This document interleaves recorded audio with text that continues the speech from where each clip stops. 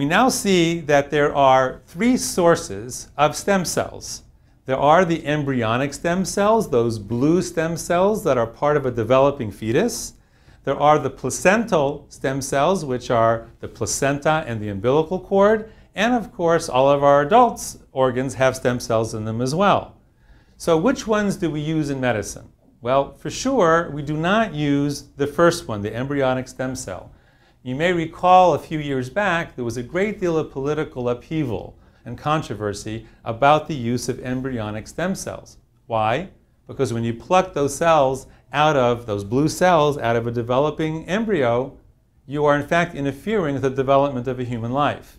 And for all of the ethical reasons, this is very controversial and should be.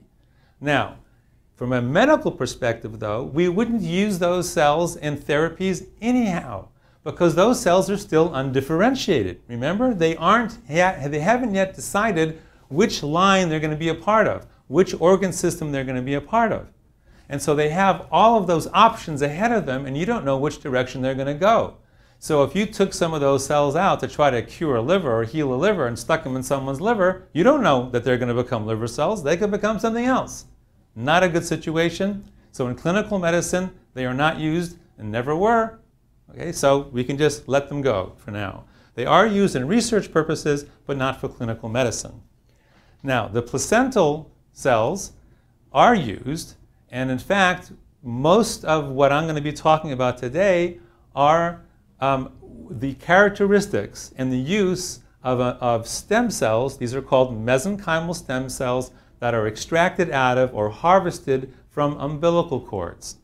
Now, there's no controversy there at all because after the baby is born, and then the next delivery, in fact, is the placenta and the cord. And those are considered medical waste. They're going to be incinerated and, and simply disposed of, which is a shame because obviously stem cells are in those tissues and they're very valuable. So, with the mother's permission, they can be donated to science or given to a cord bank, okay, for preservation in case the mother and the child need those cells in the future, or they can be used for medications or for treatments such as we're going to be talking about today. So that's the second source of cells, of stem cells. And then the adult stem cells. Remember, we have them in our own organs. Now, you wouldn't want to extract stem cells from someone's liver. That would be painful and not very efficient. So the three places we can get stem cells out of, out of a human body efficiently, effectively, without causing too much disruption or pain are bone marrow. You can drill into someone's bone and, re, and retract or extract the bone marrow, which is filled with stem cells. Not the most comfortable procedure, I assure you, but it can be done easily. Um, you can simply remove someone's blood and extract stem cells from somebody's blood. Very easy to do. And of course, the fat. There's a lot of stem cells in fat. Those stem cells happen to be dormant, but there's a lot of them in there, and they're commonly used in clinical medicine. About the adult stem cells, what do you do with them after you've harvested them, after you've extracted them from your patient? Patient comes into the office, they want, for instance, a stem cell injection in their knee because they have a banged up knee.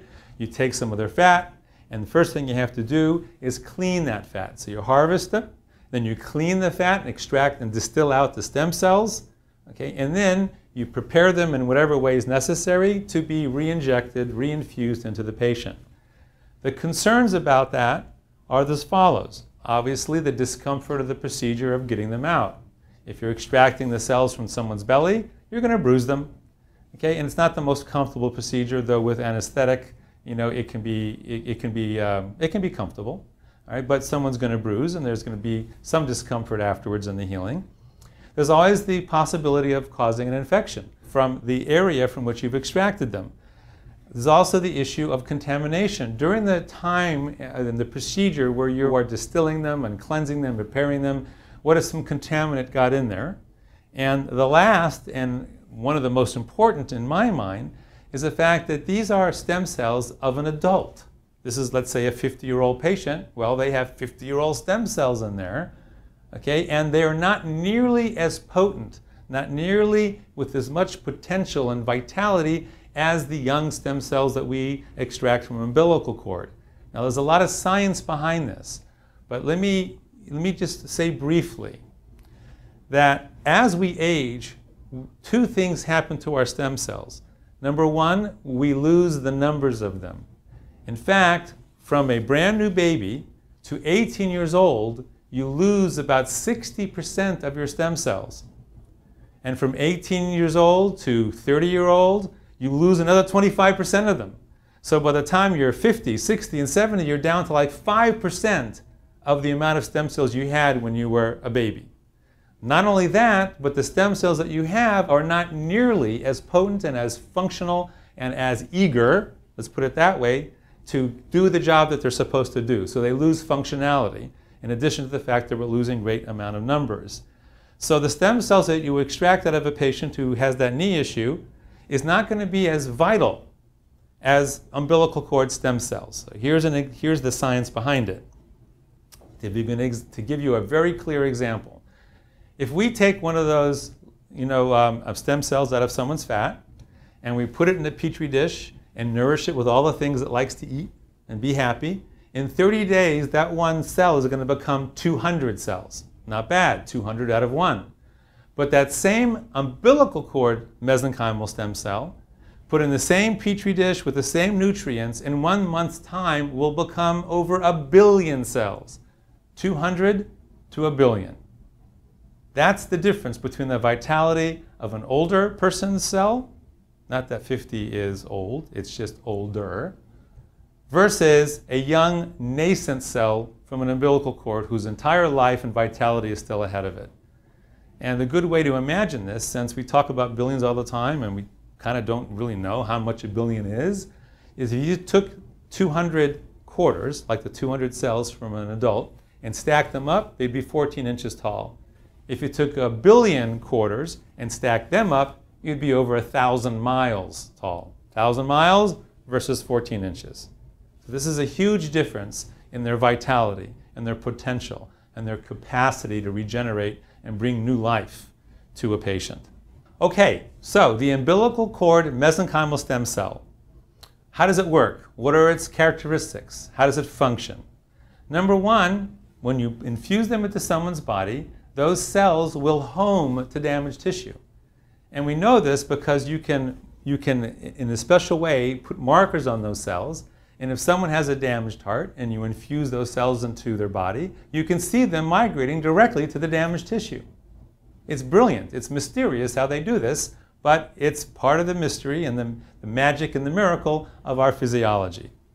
Now, when they get to their destination, these stem cells, what they do is they latch on to the microvasculature, the tiny little capillaries of that organ.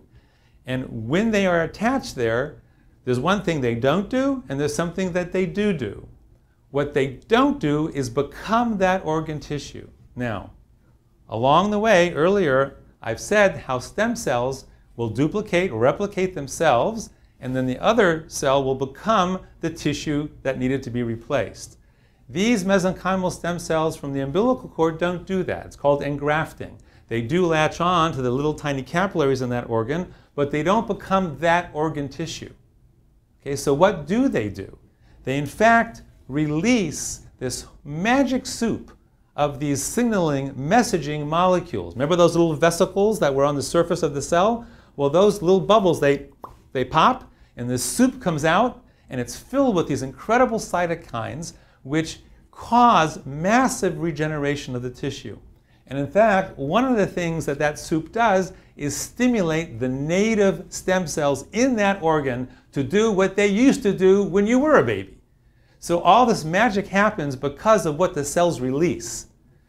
Now, Dr. Caplan, who was a brilliant scientist who discovered these mesenchymal stem cells in umbilical cords just a few years ago, he named them, of course, and defined them as mesenchymal stem cells, MSC, but this soup that they release, this magic soup, is such a powerful element of why these cells are so powerful in our physiology that he is playing around with the idea of changing MSC from mesenchymal stem cells to medicinal signaling cells, also MSC. So that's how they work.